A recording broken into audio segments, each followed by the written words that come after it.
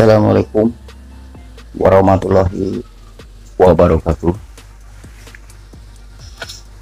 Berjumpa kembali ya dengan Dedi Rupandi channel.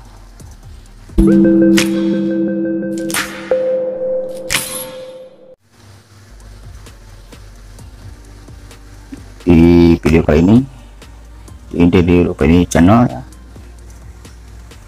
Pijat tentang pijat refleksi tutok saraf aku presur pijat urut tradisional info kesehatan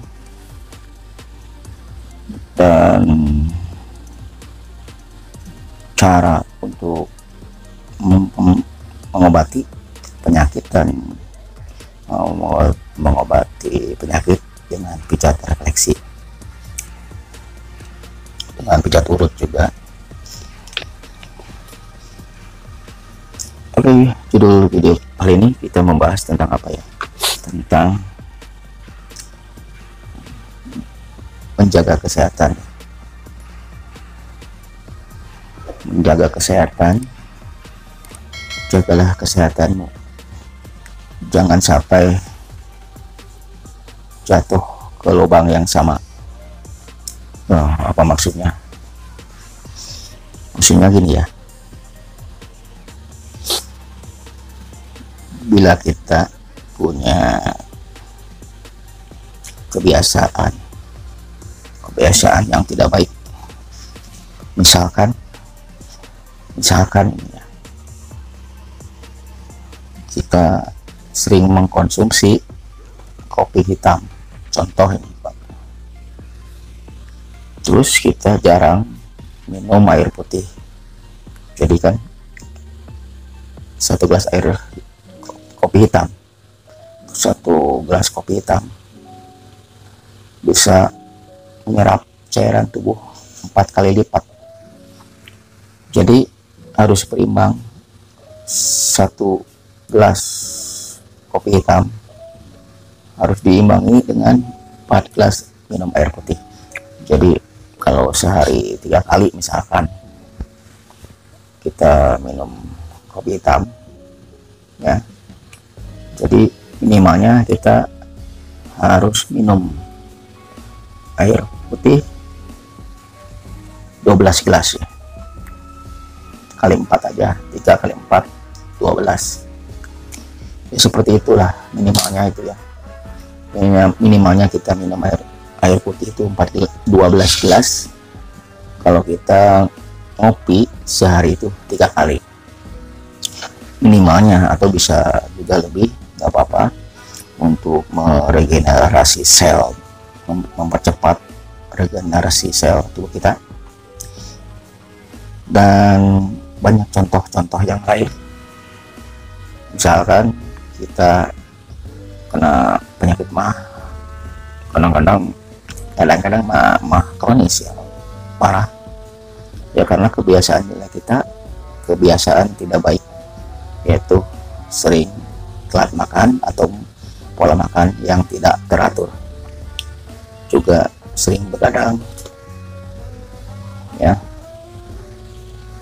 Sehingga menimbulkan uh, penyakit seperti batuk yang di mana batuk itu adalah gejala suatu penyakit yang ada di dalam di dalam tubuh ya. Ada organ dalam yang bermasalah. Jadi kita harus bisa merubah merevisi ya kebiasaan jelek kita menjadi kebiasaan-kebiasaan yang menyehatkan. Jadi sehat itu tidak tidak selalu dengan obat-obatan tapi dengan kebiasaan baik. Kebiasaan kebiasaan atau pola hidup sehat kita. Jadi kita jangan sampai terjerumus atau jatuh ke lubang yang sama. Jadi eh, kebiasaan itu bisa menimbulkan kita sakit ya misalkan. Tapi kita malah malah kita diulang-ulang. Waktu kita sembuh lupa akhirnya diulang-ulang lagi kebiasaan jelek kita itu. Jadi itu jangan sampai seperti itu ya, jadi super jadi ibaratnya kalau kita jatuh ke lubang yang sama itu kan sangat ya, gimana ya sangat bodoh sekali. Jadi kita harus menyayangi diri kita sendiri karena kesehatan itu mahal bos. Ya. Jangan sampai terjerumus ke lubang yang sama. Seperti halnya bagaimana ya contoh ya bagaimana kita terlanjur sakit? ya. Kita sering sakit-sakitan sampai uh, bolak-balik ke dokter atau sampai dirawat. Tentu saja harus ada ikhtiar. Salah satunya ya itu dirawat di dok kalau kalau menurut ahli medis harus dirawat ya gimana lagi harus dirawat untuk kesehatan kita untuk men, untuk memulihkan kesehatan kita yang yang sedang drop ya. Jadi kita harus positive thinking. Karena segala sesuatu itu adalah cobaan seperti sakit kan cobaannya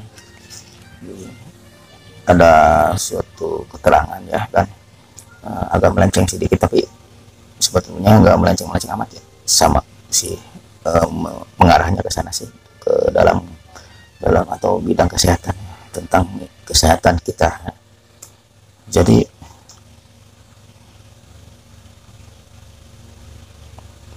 bila mana orang mengatakan aku beriman maka Allah tidak akan mengabaikan kita. Pasti memperhatikan kita pasti menguji kita untuk seberapa kualitas keimanan kita ya. Untuk uh, menggodok untuk uh, memberikan apa namanya ujian supaya keimanan kita lebih kuat. Seperti halnya kita diberi penyakit atau sakit ya. Ya kadang-kadang sedang kadang-kadang parah. Ya, sampai harus dirawat ke dokter. Ya di samping kita ikhtiar dengan alternatif ya. Tapi alternatifnya harus dengan secara yang benar bukan secara yang neko-neko kadang-kadang ada yang neko-neko sampai oh ini ada yang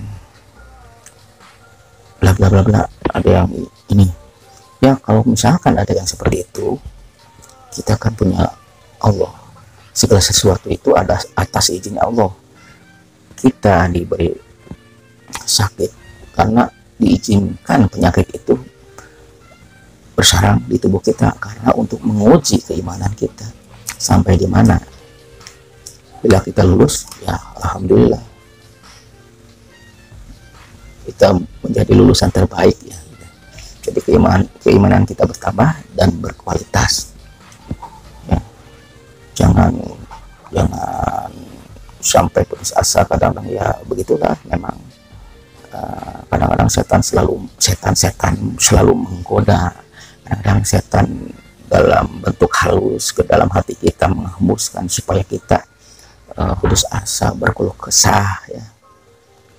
Nah ini kadang-kadang yang lebih bahaya adalah setan dari jenis manusia gitu.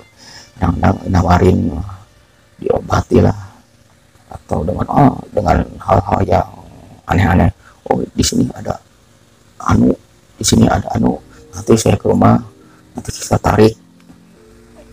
Itu sebetulnya jebakan jebakan Batman supaya kualitas kadang-kadang setan manusia dari jenis manusia dan jadi jenis yang tidak terlihat. Tidak mau kualitas keimanan kita bertambah. Dia tahu kita sedang sedang diuji oleh Allah maka itu pun atas izin Allah dengan uh, mengizinkan para para beliau beliau beliau ya para ya yang yang begituan untuk menggoda kita. Apakah kita tergoda? Tidak. Apakah kita masih tergoda oleh orang-orang seperti itu? Kan kita punya Tuhan segala sesuatu itu atas izinnya. Mungkin karena uh, dengan obat herbal dengan alternatif lain yang yang lebih uh, apa namanya yang lebih masuk akal mungkin belum diizinkan oleh Allah. Ya kita harus ya harus pasrah walaupun ya kita harus uh, tetap harus berusaha juga. Tapi kan harus harus benar-benar gitu ya. Harus benar-benar kita memfilter apakah orang ini benar atau tidak yang gitu kan. Jadi jangan sampai keimanan kita yang mau meningkat dijatuhkan lagi jatuh ke dalam lubang yang sama dalam lingkaran setan kembali lagi kepada orang-orang seperti itu hati-hati. Banyak musang berbulu domba. Ya. Kalau bulu domba ya bisa pakai baju kan. Atau wall gitu ya. Kalau kok jadi ke sana ya. Jadi banyak musang berbulu domba banyak kedok. Banyak yang pakai kedok. Hati-hati aja kita soalnya uh, bukan uh, itu menguji kesehatan kita dengan rasa sakit dengan sakit ya dengan penyakit. Tapi tetap kita harus ikhtiar dengan cara yang benar bukan cara yang neko-neko yang macam-macam lah ya. Karena kita orang beriman karena kita sedang diuji olehnya. Apakah benar kita ini orang beriman? Hanya akan ngaku-ngaku saja. Intinya tetap Allah itu melihat hati kita apakah hati kita uh, banyak gambaran dunia sehingga cahaya keimanan pun tidak sampai masuk ke hati kita karena kita itu terlalu cinta dunia banyak gambaran dunia akhirnya tergoda lagi oleh orang-orang seperti itu oleh hembusan-hembusan bisikan-bisikan setan yang yang membisikkan ke dalam dada kita kan ada di surat An-Nas ya. Ya. Dari golongan mana itu? Dari golongan setan. Jin yang tak terlihat dan dari golongan setan manusia. Namun dia masih setan hati-hati itu lebih daya rusaknya lebih tinggi. Oke bos. Hati-hati aja. Kalau kita sampai tergoda lah masa jatuh ke lubang yang sama? Wah resikonya bahaya bos sangat bahaya sekali. Soalnya itu perbuatan sirik jangan sampai ke sana ya. Yang namanya sakit diuji oleh Allah. Dan kalau kita berobat berikhtiar lalu selebihnya berpasrah diri kepada Allah itu berarti dosa-dosa kita sedang digugurkan diampuni. Masa so ya sayang dong. Kalau dosa kita udah berguguran nanti nama dosa lagi malah nambah malah lebih parah nambahnya. Jangan sampai begitu. Ini pesan untuk ya untuk siapa saja terutama terutama terutama untuk saya sendiri ya. Oke? Okay? terima kasih. Um, mohon maaf atas ocehannya ya. Bila mana ada yang tidak berkenan. Mohon maaf. Ini sekadar sharing dari saya sendiri. Ya uh, kalau ada kesalahan mungkin dari diri saya dan kalau benar mungkin dari Allah subhanahu wa ta'ala. Oke terima kasih. Jadi Rupani channel akan mengucapkan Assalamualaikum warahmatullahi wabarakatuh. Semoga sehat selalu